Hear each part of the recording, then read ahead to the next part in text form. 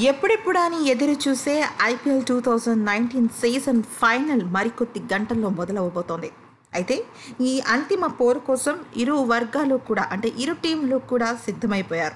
ఇక చూసే ప్రేక్షకులు ఆడే స్టేడియం అన్నీ కూడా సంసిద్ధమైపోయింది.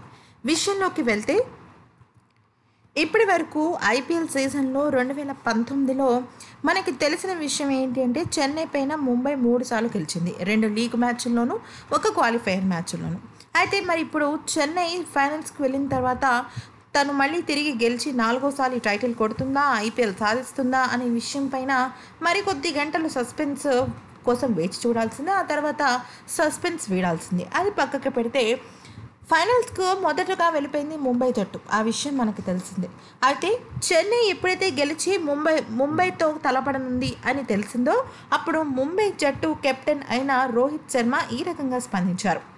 ధోని సారథ్యం వహిస్తున్న చెన్నై సూపర్ కింగ్స్ టీం అద్భుతమని చెప్పుకోవాలి. అయితే నిజానికి వాళ్ళ టీంకి ఒక ప్రత్యేకమైన స్పెషాలిటీ ఉంది. డిఫెండింగ్లో వాళ్ళు అద్భుతమైన ఆటని ప్రదర్శిస్తారు. ఇక మా విషయానికి వస్తే మేము ఎప్పుడూ కూడా ఫైనల్ మ్యాచ్ ఆడుతున్నాము అని ఏనాడు స్ట్రెస్ తీసుకోలేదు. టెన్షన్ పడలేదు. టెన్షన్ లేదా స్ట్రెస్ తీసుకోవటం వల్ల టీంలో ఉన్న వాళ్ళందరూ కూడా నిరాశపడతారు. తెలియకుండా వాళ్ళ చేతుల్లో ఆందోళన వచ్చేసి బాల్ వేసేటప్పుడు సరైన ఫోకస్ అనేది ఉండదు. మేము ఎప్పటిలాగే ప్రతి మ్యాచ్ ఎలా అయితే ఆడతామో ఈ మ్యాచ్ కూడా అలాగే మా వంతు బెస్ట్ని మేము అందిస్తాం. తద్వారా మేము మ్యాచ్ గెలుస్తాం అన్న ఆత్మవిశ్వాసం మాకు రెట్టింపు స్థాయిలో ఉంది అని చెప్పారు.